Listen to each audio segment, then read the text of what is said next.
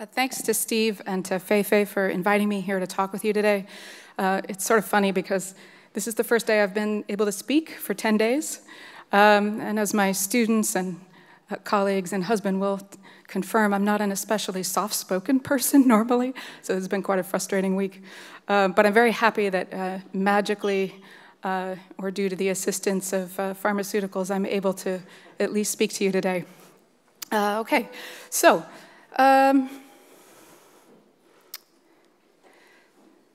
I'm not going to say a lot about uh, my background since uh, Steve's already done a great job of uh, introducing me. I'll add that uh, I also work closely with Santa Clara's uh, Markkula Center for Applied Ethics, which has some great programs in internet ethics uh, and technology ethics more broadly. Um, I'm an executive board member of the Foundation for Responsible Robotics, which is a really fantastic group that is encouraging collaborations between roboticists and ethicists internationally.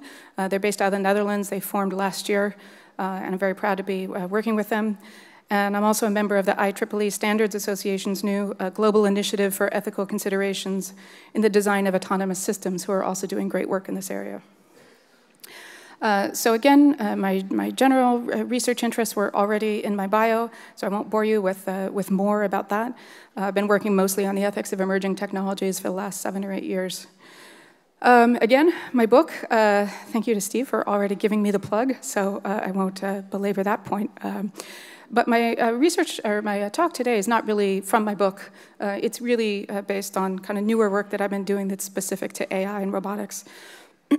so the issues that we're talking about today, as you know, have an incredibly broad range of applications from self-driving cars to virtual agents and assistants like Alexa, uh, to decision support systems used in clinical and judicial settings as well as elsewhere, uh, to a range of robotic applications from healthcare robots uh, to social robots to military robots. Um, but it's important to define what I'm talking about here today because the, the phrase AI is highly contested and there's a lot of hype around it. So um, I'm at least just going to tell you what I'm talking about today and also what I'm not talking about. So I'm talking about task-specific AI. I'm not talking about AGI, uh, artificial general intelligence, or any sort of speculative future. I'm talking about the kind of AI we have now uh, and that will only grow more powerful in the next 5, 10, 15, 20 years. And this kind of AI, of course, is defined by behavioral competence only. That's how we measure intelligence. And so we don't look here for uh, systems that necessarily matter, uh, sorry, mirror human patterns of thinking and reasoning. So we're not looking for a machine with consciousness or understanding in the robust sense of worldly knowledge uh, or sentience, the ability to feel and suffer, uh, or any kind of judgment, ability to practice moral discernment in a very real sense um, or agency in the full metaphysical sense that gives you responsibility, uh, freedom, and so forth. What I am talking about then is really AI understood as augmented cognition. And the benefits here uh, potentially are enormous. So, uh, AI, for example, can counter uh, harmful biases in human thinking, uh, with the caveat, of course, that only if carefully designed uh, and, and tested with this aim it can also have the opposite effect, as I'll say more about later. Uh, AI can model a much larger space of action possibilities than we can. Uh, it can surpass our cognitive limits of bandwidth and speed. And it's less bound to our evolutionary cognitive heuristics uh, that have uh, come into uh, our mental structures uh, by a series of historical accidents. So these systems can potentially discover new solutions to important human problems by new methods that we ourselves are not wired to come up with.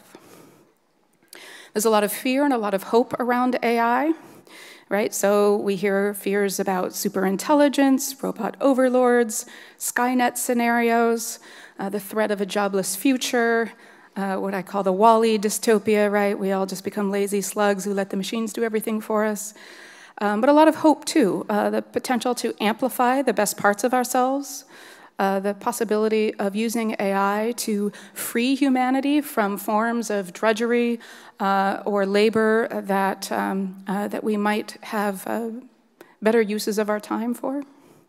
Uh, the potential of AI human partnerships, a new kind of relationship or community with our machines, the potential for the recovery of leisure, which technology has always promised but not yet delivered, uh, and the possibility of a new age of reason, of machines that can help us think better and be better. But the ethical concerns about AI are many. Uh, and I have a whole other presentation that goes through these in, in great detail. I'm not going to do that here. Um, obviously, a lot of concerns about safety, a lot of concerns about algorithmic uh, transparency, or rather the lack of it, so I prefer to call it the opacity problem. Um, a lot of concerns about the level of autonomy, uh, not only that we're capable uh, of uh, designing uh, machines to enact, but uh, the kind of autonomy that we ought to, to allow machines to have. accountability, who will be held accountable for decisions that are made by machines more or less independently of human judgment. Questions of power, how artificial agents might magnify or distort certain kinds of power relations that are fundamental to human existence and human well being. Concerns about diversity, um, whether the broadest range of human experiences and values will be represented and respected uh, by machine design and implementation, or whether it will represent only uh, the desires and goals and values of a select elite few. Concerns about human vigor, right? This is the aspect of the WALL-E scenario that we worry about, right? The idea of human mental uh, and creative strength uh, being preserved, uh, still having opportunities to work, to labor, to, uh, uh, to strengthen our, uh, our skills and cultivate our virtues. and wisdom, um, which I think in some sense encompasses all of this. Uh, wisdom is sort of the umbrella concept. It's a moral and practical notion, uh, and we want to know how to use these new technologies wisely and well. So I'm going to talk for the rest of my time here about machine values and human values. Um, and I'm going to suggest that this is not exactly an opposition. It's more of a complex tension. Um, but for the human values part, I'm just going to go through very quickly some of the ways in which the questions that are being asked in the media and elsewhere about AI ethics I really relate to fundamental human values uh, that are, enduring and deserve to endure. Um, one of which is compassion. Uh, so when we ask questions about how AI can be designed safely and benevolently in ways that do not expose us to undue harms, even while doing so uh, will advance a system goal, uh, this is really a question about making machines and designers of machines uh, adequately compassionate, um, considerate, concerned for our interests. And we have to ask ourselves also how we can promote AI design that recognizes and gives appropriate weight to human suffering. Human suffering isn't something we like to think about. Um, and unfortunately, that can uh, prejudice us or bias us uh, towards um, forms of thinking that are unduly optimistic uh, or that have blind spots in terms of the kinds of risks that we're taking. Uh, we need to consider how AI, that's given access to critical systems um, and data that are essential to human well being, how they can be designed to recognize and resist hacking, abuse, or malware that aims to weaponize AI against vital human interests. Uh, we have a lot of concerns that relate to the value of human uh, justice. The huge issue uh, in the room, right, is technological unemployment um, and new waves of automation that, uh, that threaten the stability of our economy. So thinking about how we can manage the risks to human well-being posed by this is not just an economic matter, uh, it's a moral matter, it's a question of justice.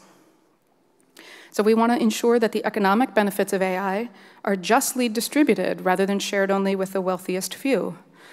Um, and on another level, we want to detect and mitigate unjust discrimination and bias in machine judgments. And there have been a lot of uh, stories in the news already about uh, the ways in which machine judgments can conceal, or uh, as I'll say in a few moments, launder uh, forms of human bias uh, that, that remain unjust. We have a lot of concerns about the fundamental value of human sociality. Uh, as Aristotle said, we are social animals, political animals. Uh, this is our nature, this is the context in which we thrive, and AI is going to transform that context. So, what kinds of social roles should artificial agents occupy? Should we welcome them as caregivers, nannies, teachers?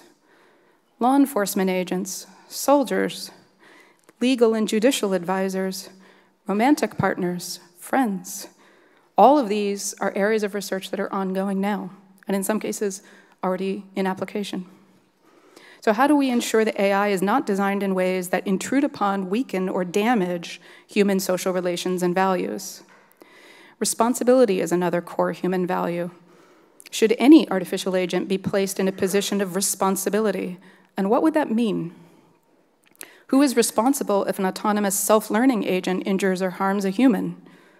Which social, political, and economic institutions, groups, or persons will be responsible for steering or governing appropriate AI technology? How can we promote AI design, engineering, and use that's responsible? Okay, so that's sort of the big, high level overview of just some of the moral questions that we have to ask about AI. And now I'm going to talk a little bit about machine values as opposed to human values. So, what is a machine value? It's one that's enhanced by the cultural context of mechanized industry and science. So, machine values aren't new with the advent of AI. Machine values have been around with us ever since we've had machines. And it's a bit of a misnomer. So, machine values are human values. All values are human values. They're just ones that suit themselves to implementation and maximization by machine judgment. I like to say that AI is us all the way down, right? And we have to resist this temptation to wall it off, separate it off, uh, certainly at this stage of development, and, and treat it as a phenomenon uh, that, uh, that does not, in fact, reflect us. So a machine value is a value that is algorithmically represented and operationalized or best achieved by mechanical systems. Okay, here's some examples of machine values. And I'm going to kind of go through these one by one. This is just the, the overview. So let's start with optimality. So one way of thinking about that is the way that we use in AI design utility functions, right? So we take the notion of what is right or what is good, what we want the machine to do, what humans want the machine to do, and we try to uh, design a, utility function that will allow the machine uh, to uh, achieve that. Um, the problem is, is that utility functions reduce complex value environments. They have to. Um, but the, there are moral consequences to that kind of reduction. Um, these sorts of uh, uh, systems that are designed around the aim of optimality also risk a certain sort of stasis. Um, they, they want to uh, achieve a certain state, and, and once they're there, they, they may tend to stay there in ways uh, that might frustrate uh, human interests in innovation and so forth. Um, but my general point with this is that the ideal machine is a consistent expected utility maximizer. And we all know uh, from human psychology and the failures of economic theory that the ideal human is not a consistent expected utility maximizer. That's just not how we operate. So, well designed utility functions do not encapsulate or even emulate good, wise, or ethical decision making by human standards. They merely deliver approximately similar results with a failure rate that is judged acceptable but the ways they fail will differ from the ways that humans fail. And these failures will often involve the exclusion or marginalization of important human values and the collapse of morally salient value distinctions or the subversion of the unstated human aims for which the utility function is a proxy. These are risks and costs that we must care about and think about just as much as we think about the immense benefits that such functions can deliver. Other related machine values, efficiency, right, in which all of the values that we might consider have to be instrumentalized relative to the system goals or function, which is ultimately all that matters to us. And many of the machine values uh, represent key advantages of machines over human judgment, right? Uh, so the speed of machines uh, provides a decisional advantage over human judgment. The precision of many of these algorithms uh, allows for a calculative advantage over humans. Their reliability, when they're well designed, can provide a stability advantage over humans who are notoriously failure prone, vulnerable, unpredictable. Readability provides an informational advantage over humans. Uh, but notice that what this requires, for example, uh, is the demand that it transform human experiences and human environments into machine readable ones. And this is much of what we do in AI research is think about ways uh, to turn the world into data um, or design machines that can read the world as data. Um, and this has important moral consequences the value of compressibility, uh, the lossless reduction of informational complexity that gives a computational advantage. But again, we have to constantly attend to the moral value of those things that are reduced. Replicability uh, is an is an economic advantage. Uh, in, in many contexts, we talk about these systems as force multipliers. That's a military term, uh, but it can be applied more broadly in a lot of contexts, right? Uh, these machines uh, can do the work of many, many, many humans uh, that would be required to do the same. Invulnerability, right? The non biological nature of these systems provides certain advantages over humans given our physical and affective uh, vulnerabilities.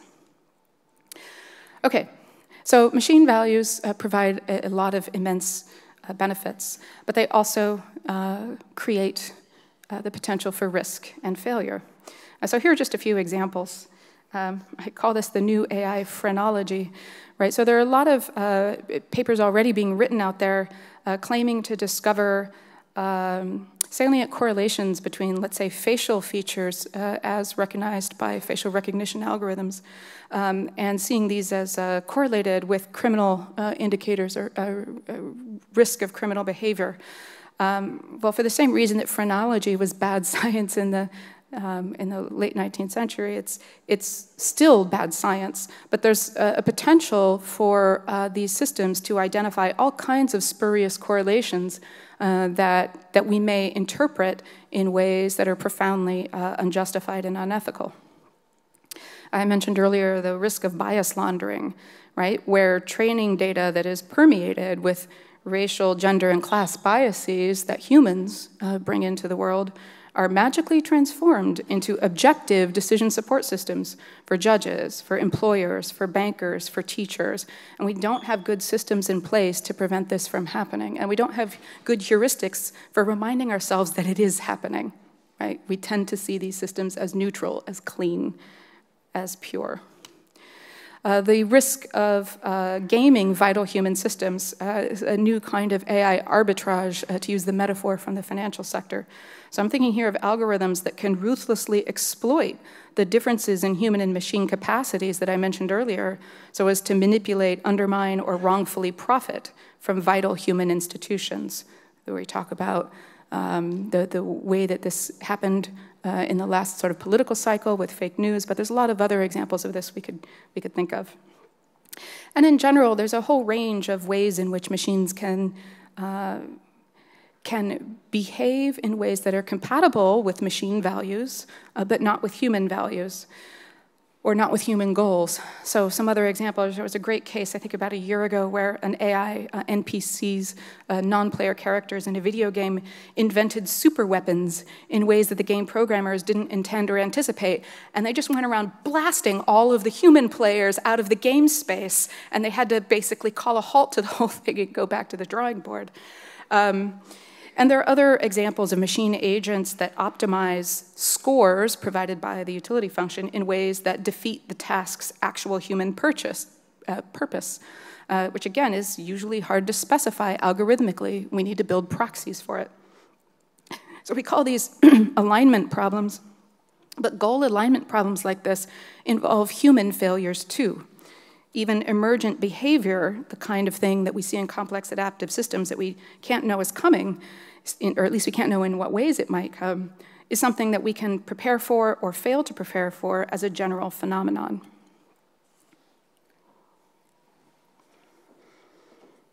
So, the way I like to think about this is to think of the fact that all designed human artifacts, uh, all of our uh, things that we build, are mirrors of human value, and artificial agents are included in that. So, this is why I say that machine values are human values too. Just as my image in the mirror is still mine, even though it's in some sense detached from me, our AI mirrors are still us, though externalized and transformed. And when I say they're transformed, I mean that AI mirrors may magnify, reduce, narrow, invert, distort, center, or decenter certain human values. And the main point of my talk is this that responsible AI design and use takes deliberate account of these mirror effects on human values and their ethical impact on human lives and institutions. Okay, so how do we do that in concrete, practical terms? Okay, so here's the, the where the rubber meets the road, and I actually have some concrete advice. Uh, so, uh, philosophers aren't known for that, but philosophers of technology are a little better at that. Um, so we have um, we have this gap potentially between the sphere of machine values and the machine uh, the sphere of human values. Uh, so we need to study that map, and we need to uh, look at the ways that machine values um, uh, can, in some cases, optimize, and in other uh, cases, undermine human values. So we have to look uh, for the places where these two maps of value overlap, where there are gaps between them, where there are conflicts, where there are trade-offs. This has to be a problem that we're interested in. we have to practice AI pre-mortems right? Assume this project that you're working on or this implementation that you're about to, uh, uh, to take up will go wrong. Where, when, and in how many ways might it fail? Who will be harmed? How? Uh, these uh, kinds of uh, techniques have been shown to be immensely valuable in other spheres of human practice and professions, so there's no reason why they wouldn't be equally uh, useful in the context of AI design. Um, and this is in a more extreme form. What we're talking about is AI disaster planning. Uh, there's a great uh, paper on this from uh, Tyler uh, Schnoebelen. Uh, it was just, I think, given last week at an ethics workshop on natural language processing. And uh, he says, uh, you should ask yourself, what is the worst possible way this technology could be used, and how sound are my mitigation strategies? And if the answer to that is what mitigation strategies, you have a big problem. Because planning for failure is a key part of good design. Think of the safety features in our cars hazard indicators, emergency brakes, tire kits, engine lights, seat belts, and so on that we build in to provide resilience to human and machine failure. Every AI system embedded in a critical human system should be designed with the same care and attention to ethical risk mitigation. But this has yet to become a stable design norm. We also need to beware of uh, what John Sullins has called reverse adaptation. Uh, this is uh, where we allow the machines to dictate to us uh, what our norms and values and goals ought to be. So think here about the frequent insistence that you hear from some uh, leaders in the tech community uh, who tell us that humans must adapt to technological change or die, or adapt or be left behind. These statements implicitly frame the trajectory of technology as a fixed arc that we must remold our values and goals to. It is not asked how that arc ought to respect or bend to human values that deserve to endure. So, what we ought to be doing is auditing AI outcomes using robustly human and machine values and in this case, we should be aiming to conserve the moral complexity that is often reduced or compressed by our algorithms, not further reduce it. And that means seeking design workarounds or allowances for human values that are not easily optimized or reduced to algorithmic representation, right? Things like compassion, justice, fairness, love, hope, responsibility, creativity, liberty, dignity. These are things that humans have been seeking and fighting for for thousands of years. And the fact that they cannot be represented in a utility function is not an excuse for setting them aside. And finally, we need to institutionalize ethical AI design. And this is an incredibly important priority. Think about the existing institutions that profoundly impact human welfare. Think about hospitals. Think about court systems. Think about finance. Every hospital has an expert in clinical ethics on hand, usually more than one, to advise and review the conduct of its practitioners. Every court jurisdiction has a body that oversees matters of judicial ethics. Every certified financial manager has to learn about their ethical duties to their clients. Yet AI research, design, and use will introduce new ethical dilemmas and risks in all of these domains, plus pretty much every other domain education, housing, transportation. Basically, every sphere of human activity that produces and distributes human goods is about to be transformed or is already being transformed by AI. This is the sort of revolution that people are talking about, and it's real. Yet there have only been a few and scattered attempts to institutionalize expertise in AI ethics, whether in university laboratory, corporate, or regulatory settings. And this is gravely imprudent. The ethical risks and challenges of AI are amplifying rapidly on massive scales and on multiple dimensions, and our exposure to these risks must be intelligently mitigated. These systems cannot learn and they cannot grow to their potential if they fail to secure widespread human trust and participation and investment in them. The social benefits of AI driven technology hang in the balance. Thank you.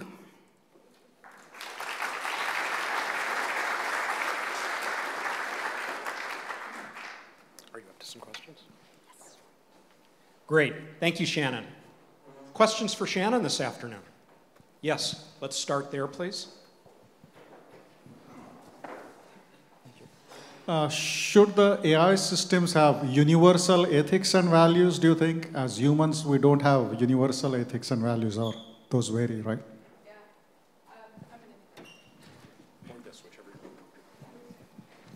Yeah, normally I can project it back of the room, but not today.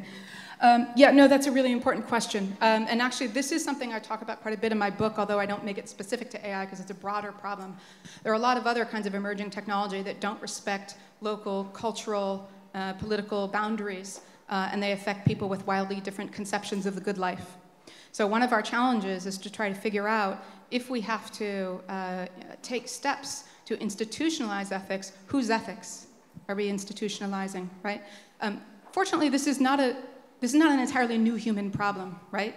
Um, but we do need better uh, ways to deal with it because the problem is becoming more acute and it's becoming more critical. In my book, I talk a lot about things, for example, like uh, the way in which the environmental stability, uh, the, whether you're talking about the climate or whether you're talking about um, non renewable uh, planetary resources, um, if we don't figure out how to get past our different conceptions of the good life in order to address these problems wisely, uh, we're all literally dead in the water.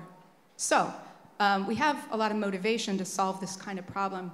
So what I argue in the book is that um, we need a, a kind of constrained pluralism is a way I try to think about it, right? That, that allows for certain local conceptions of value to differ and, and persist in their difference, but that identifies a sphere of encompassing human concerns that really affect the human family as a whole. And in that space, we need to have, I argue, a conception of global public character. Uh, something that is, is sort of like civic virtue, but on a global scale. Uh, and, and I go into some more detail about what that might look like. Uh, but I, it's, a, it's a thorny problem, I agree. Uh, but it, it, it can't be a reason to sort of throw up our hands and say, well, then I guess we can't do ethics, because it's just not an option. Other questions?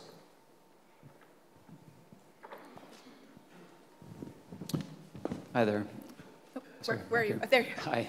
Um, I'm curious about um, if you look at it through the eyes of an economist, do you think there needs to be systems of accountability like economic incentives, taxation, um, to cause some of these mitigation measures that you're suggesting? If we leave it to the market's own devices, will these happen? Yeah, no. or they won't happen um, in a way we're going to like. So um, systems of accountability include things like pitchforks, if you know what I'm getting at, right? They include revolution. um, and those aren't the, the most um, efficient or welcome forms of accountability for abuses of power or human irresponsibility.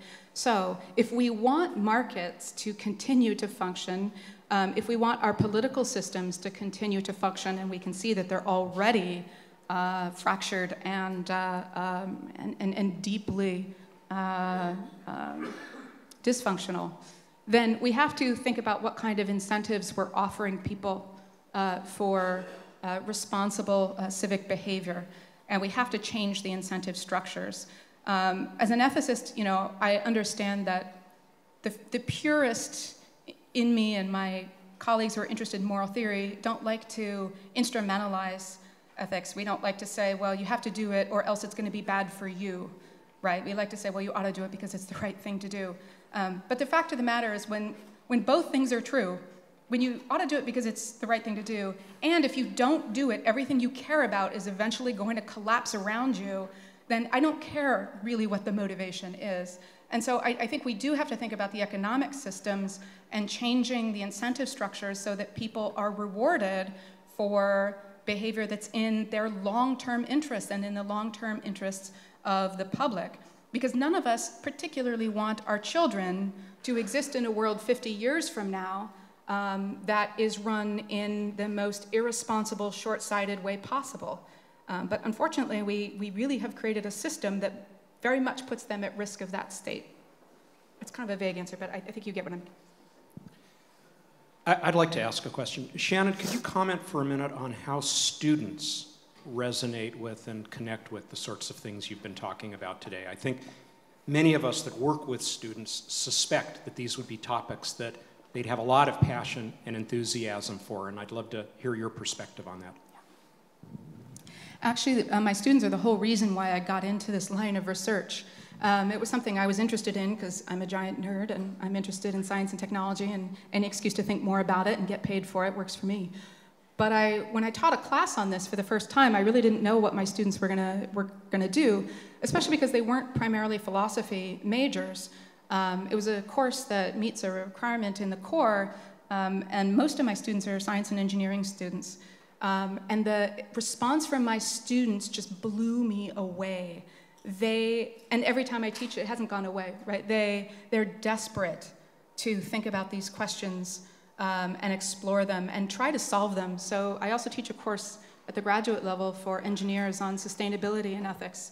Um, and, uh, and they're really thirsty for pragmatic ways of thinking about ethics and addressing ethical issues.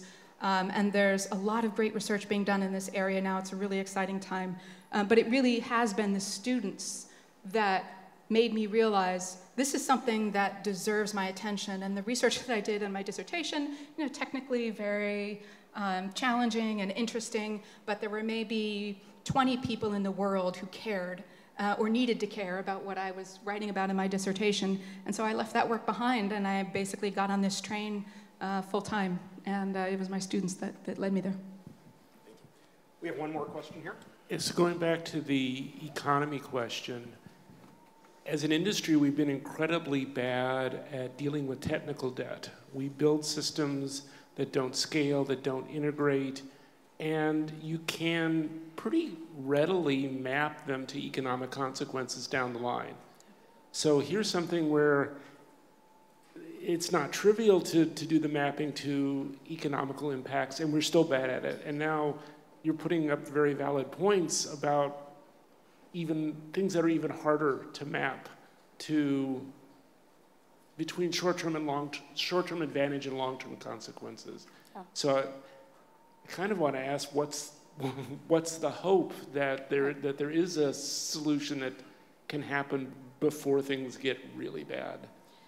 So uh, there's a couple of things. I mean, I think there's no one solution. I think there's multiple solutions. Um, one of the solutions is a top-down, uh, not a solution, but it's a, it's a top-down uh, strategy.